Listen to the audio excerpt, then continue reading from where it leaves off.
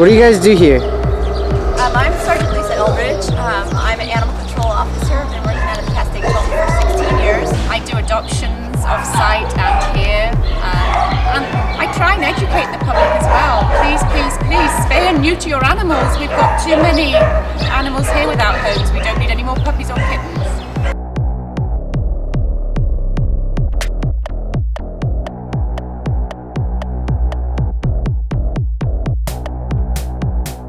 About how many animals do you have? At any given day, we probably have like 40, 50-ish cats and up to 100 dogs. What will you guys do with um, $7,000?